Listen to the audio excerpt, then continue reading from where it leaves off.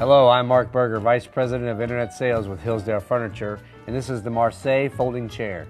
Hillsdale Furniture's Marseille folding chairs are as beautiful as they are functional. These lovely chairs have a sturdy cane back and seat. They are fantastically attractive and store conveniently when not in use. A perfect selection for anyone who enjoys entertaining yet does not want their living space cluttered with unnecessary seating. Simply use the Marseille folding chairs when needed and then store them away when finished. Each chair folds and stands for easy self-storage.